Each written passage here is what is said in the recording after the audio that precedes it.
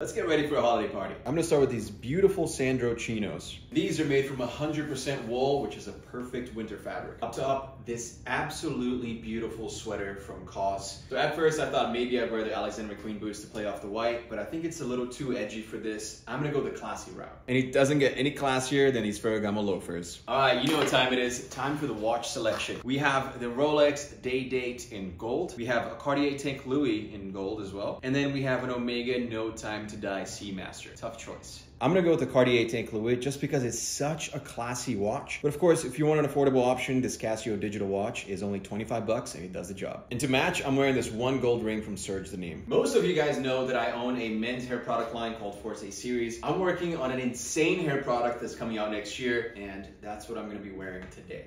Today's fragrance, Parfums de Marly Haltane. It's one of my favorite for fall and winter. And this is the final fit. What do you guys think? Is it a hit or a miss?